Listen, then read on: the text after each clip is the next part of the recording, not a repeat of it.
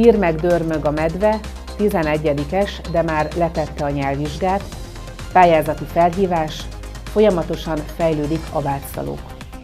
Jó estét kívánok!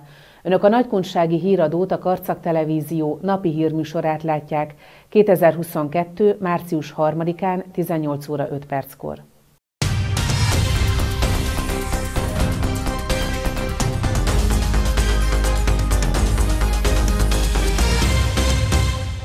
Karcagi Madarász Imre Egyesített Óvoda Jókai úti óvodájában mackó szépségversennyel zárult a Dírmeg Dörmög a Medve projekt, amely a gyertyaszentelő időjárás jósláshoz kapcsolódott.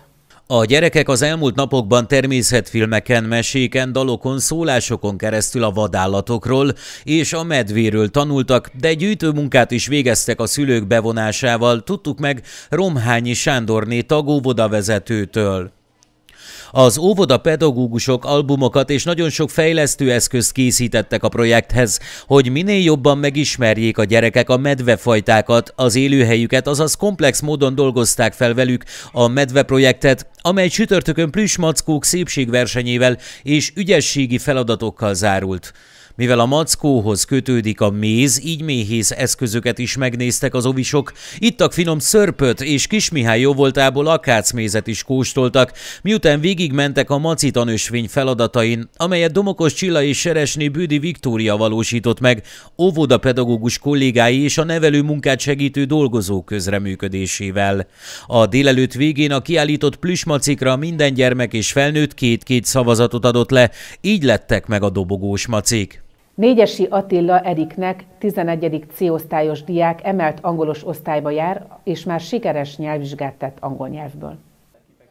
Szerette volna még a továbbtanulás előtt letudni a nyelvvizsgát, hogy legyen ideje a többi tárgyra. Az írásbeliben egy kicsit kételkedtem, hiszen nem éppen túl nagy az önbizalmam, viszont a szóbeli az egy kicsit még idegesítő volt hiszen ott ugye emberi kontaktus is van, de örülök, hogy sikerült.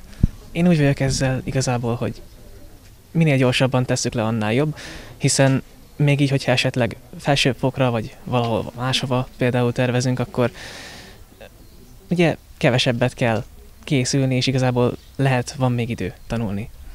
Hova szeretnél menni, hogy fontos volt a nyelvvizsga? És engem is mindig igazából vonzottak a western nyelvek, ugye főleg az angol, igazából az angol nyelven nőttem fel, ugye körülöttem mindenhol ez volt, és valahogy mindig is vonzott igazából a műfordítás is, úgyhogy ha Magyarországon műfordítónak el tudok helyezkedni, az teljesen jó lesz, viszont kreatívabb irányzataim is vannak, mint például a színészet, vagy a szinkron színészet. Pályázati felhívás társult önkormányzatok területén működő hagyományőrző civil szervezetek hagyományőrző rendezvényeinek támogatására. Társult önkormányzatok területén működő hagyományőrző civil szervezetek hagyományőrző rendezvényeinek támogatása. A pályázat kiírója a Nagykun Hagyományőrző Társulás. A pályázat célja a nagykunság hagyományainak ápolásához kapcsolódó 2022. évi hagyományőrző rendezvények támogatása.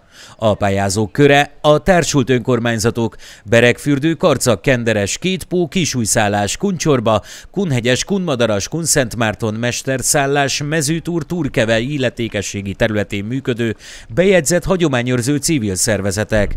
A pályázati keretösszeg 1 millió forint. Az elnyerhető támogatás összege maximum 200 ezer forint, de a rendezvény teljes költségének maximum 50 a A pályázat benyújtásának határideje 2022. március 29-e. A pályázatok elbírálásának határideje 2022. április 29-e.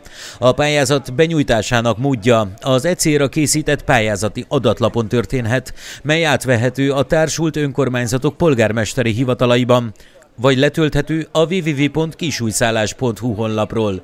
A pályázat benyújtásának helye Kisújszállásváros önkormányzata 5310 Kisújszállás Szabadságtér 1.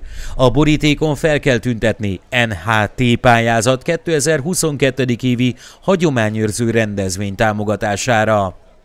Balog Gyulával, Abátszalók polgármesterével a településükről, az elmúlt évek alatt történt beruházásokról, fejlesztésekről, valamint Abátszalók jövőjét érintő tervekről is beszélgettünk.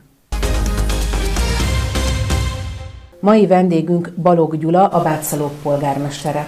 Üdvözlöm polgármester urat, és köszönjük, hogy elfogadta a meghívásunkat. Én is üdvözlök mindenkit szeretettel.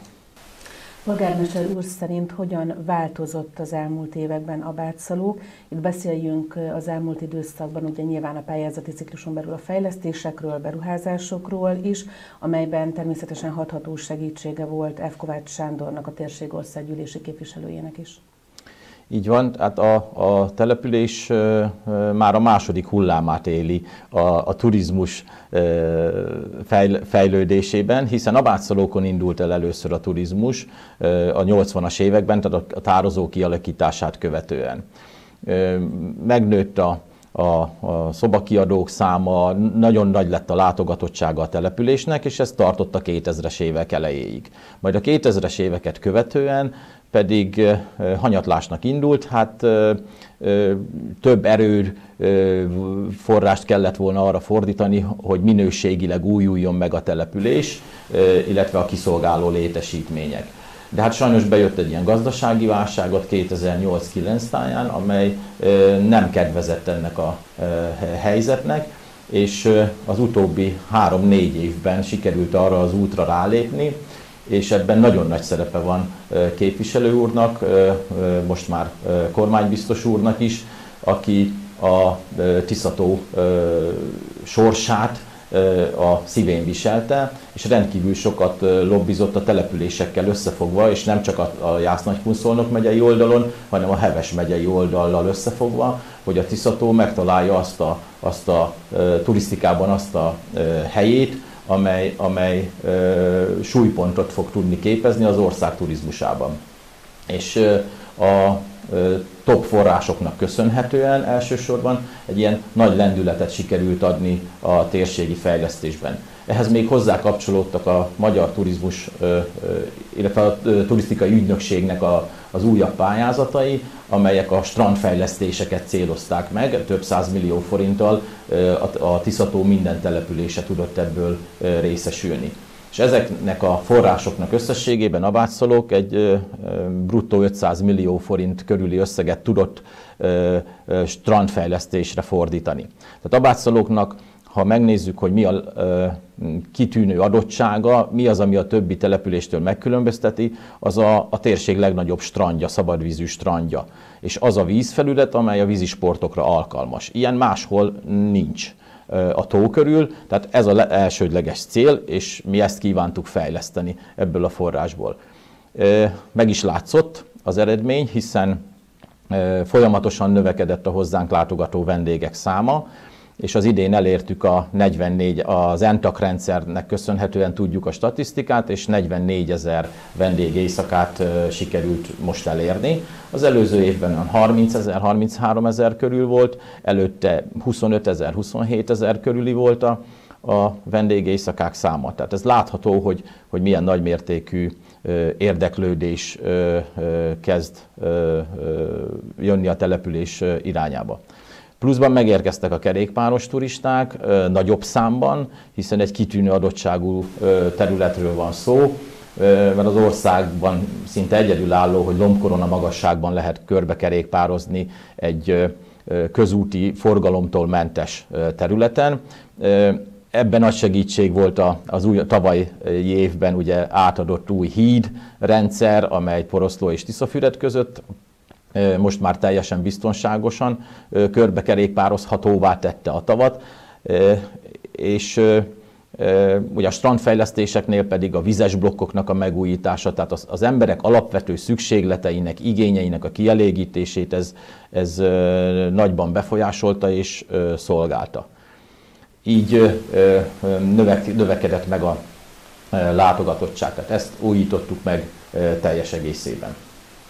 A turisztikán kívül, a turisztikai fejlesztéseken kívül milyen egyéb beruházások valósultak meg a bátszalókon? Természetesen nem csak a vendégek igényeire szerettünk volna hangsúlyt fektetni, hát a top pályázatok segítségével öt ilyen pályázaton vettünk részt, megújultak a város közterületei, A köztör zöld város programban vettünk részt, ahol fákat ültettünk, padokat helyeztünk el, járdákat, kisebb tereket alakítottunk ki, közintézményeink előtt, a művelődési ház előtt parkot alakítottunk ki, ahol köztéri szobrot, amely számunkra nagyon fontos, a, a Tisza Abádi rév emlékhelyet Györfi Sándor szobrászművész úr jó voltából a tavalyi évben elhelyezhettük. Tehát ezekre rendkívül büszkék vagyunk, játszóteret építettünk, ugyanebből a programból, amely szolgálja a településen élő ifjú családok gyermekeit is, közel van a gyermekintézmények is, közel vannak bölcsöde, óvoda, tehát őket is, nyári szezonban pedig természetesen a, a turisták vagy a hozzánk érkező vendégek gyermekeit is. Hogy a, az ifjú korú gyermekeknél maradjunk, építettünk egy gyermekorvosi rendelőt, védőnői szolgálattal összekapcsolva. A védőnők hát már hosszú évek óta egy nagyon régi épületben folytatták ezt a tevékenységet. Nyilván nagyon-nagyon nagy adóssága volt a településnek, hogy méltó körülmények közé helyezzük el őket, és így összekapcsolva a gyermekorvossal egy korszerű létesítményt építettünk, és adtunk át szolgálatra, amely azóta is töretlenül és kitűnő módon működik. Volt még a energetikában természetesen, ugye igyekszünk, hogy a, a településnek a, a közintézményei energetikailag korszerűek legyenek, tudjunk megtakarításokat eszközölni a, a költségvetésbe, és ebben a top pályázatban az iskolának a tetejére egy 400 négyzetméteres napelemrendszert telepítettünk, amely gyakorlatilag az iskolának az energia felhasználását majdnem teljes egészében tudja fedezni egész évben. Tehát ez egy nagy előrelépés, de ez nem csak, ez a térségnek is, meg az országnak is, nem csak a településnek jelent segítséget, megtakarítást. Volt, van még egy programunk, ez most van folyamatban, bölcsödeépítés, mi, mikor kész lettünk az előző topos pályázatainkkal, és jó minőségben, határidőre végeztük el a munkánkat, erre nagyon igyekszünk figyelni, hogy teljesen szabályszerűen és jó minőségben végezzük el a pályázatainkat, ezért azt gondoljuk, hogy szeretnénk megbízhatóak lenni, és látni azt, hogy hogy képviselő úr is tudjon nekünk segíteni, lobbizni abban, hogy igen, a vátszalókra érdemes pályázatokban segíteni, mert, mert tényleg azokat a célokat, amiket kijelölünk, azt szolgálja. Tehát jól elő tudjuk készíteni, és régi vágyunk volt, hogy legyen egy bölcsödénk. Mi első körben, hogy úgy fogalmazzak, hátrányban voltunk, mert nálunk 1958 óta van bölcsöde, tehát nem olyan település vagyunk, ahol még nem volt bölcsöde tehát régóta működik, kitűnően működik, a, a település hosszú évet, évtizedek óta erőt fektet arra, hogy a dolgozó szülőknek, hátrányos helyzetű szülőknek, családoknak intézményesített keretek között tudja biztosítani a, a kicsi gyermekeknek a nevelését, gondozását. És, de kinőttük ezt az épületet, illetve nagyon régi épületről van szó szintén, és vágyunk volt, hogy egy újat építsünk, és a egyik óvoda egységünk mellett volt egy üres terület, ahová megálmodtuk az új bölcsödét, és ennek az építése folyamatban van. Bízunk benne, reményeink szerint, hogy ebben, ennek az évnek az őszén átadásra is kerülhet az intézmény. Két csoport, plusz egy mini bölcsödei csoport fog működni ebben, a, ebben az épületben. Másik nagy örömünk a településen, hogyha a fejlődéseket nézzük, hogy a, az idei évben a településen átmenő út megújult. Tehát ez is nagyon régóta égető problémát jelentett, turisztika miatt is, de a helyben lakók miatt is, közlekedésük miatt, az egészségügyi intézményekbe való eljutás miatt, kórházba, másik településre, illetve a munkába járás miatt is nagyon fontos volt. Nagyon örülünk neki, hogy ez, a, ez az út az idei évben elkészült a közút támogatásával, segítségével és a Magyar Falu programnak köszönhetően. Ami még nagyon jelentős a településen a három év viszonylatában, hogy tanúszoda is épült a Vátszalókon. Tehát ez egy 600 millió forintos beruházás, amely nem a Vátszalók beruházásában valósult meg, hanem a állami támogatásból, és de annak örülünk, hogy a térségben most már be tudja tölteni azt a szerepet, hogy a gyermekek ugye ide járnak úszásoktatásra, szervezett formában is, és magánúton is tudnak, tudják ezt igénybe venni. És ez, ott, ez, ez itt van nálunk, amely egyébként a turizmust is tudja szolgálni. Tehát az elmúlt években összesen 2,2,6 milliárd forint értékű beruházás, pályázat, programpályázat, tehát ebben minden benne van, hogyha összesítjük, érkezett a településünkre. Polgármester úr, köszönöm az interjút. Köszönöm szépen én is. Kedves nézőink, napi hírműsorunkat, a Nagykunsági Híradót látták. Riportjainkat újra megnézhetik internetes felületünkön a www.karcagtv.hu weblapon, vagy töltsék le a Karcag Média Centrum applikációnkat az App Store vagy a Google Play áruházból. Viszontlátásra!